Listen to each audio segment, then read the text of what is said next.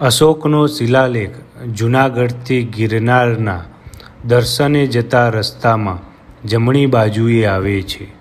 આ શિલાલેખ દરરોજ સવારે આઠથી સાંજે છ વાગ્યા સુધી ખુલ્લો હોય છે અને આની પ્રવેશ ફી ભારતીયો માટે પચીસ રૂપિયા અને વિદેશીઓ માટે ત્રણસો રૂપિયા છે.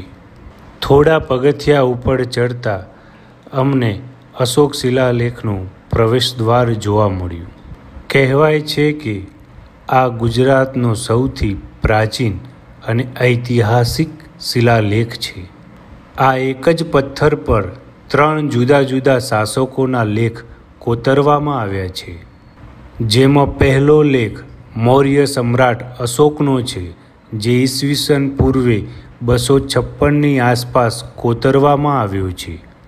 બીજો લેખ રુદ્રમાનો જે ઈસવીસન એકસો પચાસ આસપાસ અને ત્રીજો લેખ મહાન ગુપ્ત સમ્રાટ સ્કંદનો ઈસવીસન ચારસો ને સત્તાવનની આસપાસ કોતરવામાં આવ્યો છે. જો આ રીતે જોઈએ તો આ શિલાલેખ ઉપર સાતસોથી આઠસો વર્ષનો સમયગાળો તમે જોઈ શકો છો. આ શિલાલેખ શંકુ આકારનો છે અને તે લગભગ જમીનથી બાર ફૂટ ઊંચો અને નીચેના ભાગમાં એનો ઘેરાવો લગભગ પંચોતેર ફૂટ જેટલો છે. તમે આ શિલાલેખ ઉપર સમ્રાટ અશોકની ચૌદ ધર્મ લિપિઓની કોતરણી જોઈ શકો છો.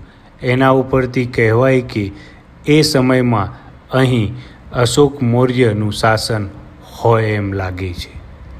ઈસવીસન અઢારસો ને બાવીસમાં કોર્નર ટોડે આ શિલાલેખનું નિરીક્ષણ કરેલું હતું અને ત્યારબાદ જોન્સ પ્રિન્સેસે એ લિપિને ઉકેલીને તેનું ભાષાંતર બહાર પાડ્યું હતું.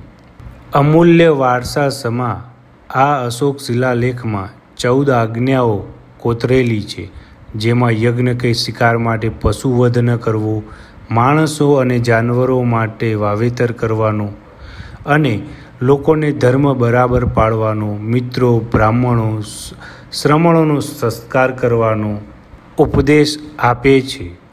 બાવીસો વર્ષથી સચવાયેલ આ શિલાલેખને અત્યારે ભારત સરકારના પુરાતત્વ વિભાગ દ્વારા સાચવવામાં આવે